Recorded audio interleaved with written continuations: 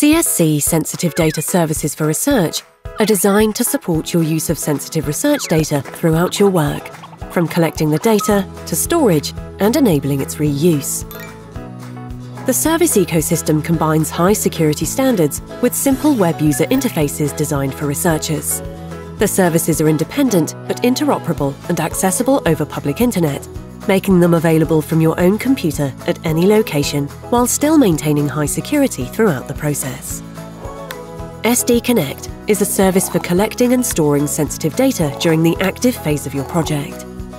It also enables you to share encrypted datasets with your collaborators. SD Desktop allows you and your colleagues to access and analyse your data in a virtual private computing environment.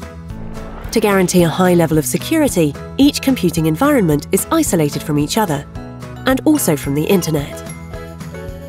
At the final stage of your research, SD Submit allows you to store sensitive data in Finland for reuse while retaining full control over it. With SD Submit, you can make all types of sensitive data findable for Finnish researchers. Other researchers can apply access to your submitted datasets in SD Apply. Furthermore, when you, or the Data Access Committee whom the data controller has assigned, grants someone access to research data, they are immediately able to access the data directly in SD Desktop.